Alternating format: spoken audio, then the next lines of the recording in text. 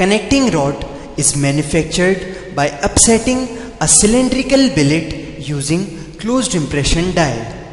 On the left hand side, the simulation describes step 1 of forming of connecting rod with upper die in yellow, lower die in green and a cylindrical billet sandwiched in between.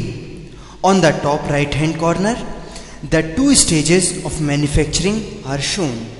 The first red picture shows the initial billet, the middle red picture shows the preform and the final red picture is the end product in two steps. On the bottom right hand corner, the details of upper and lower dies for step 1 are shown in yellow and green respectively.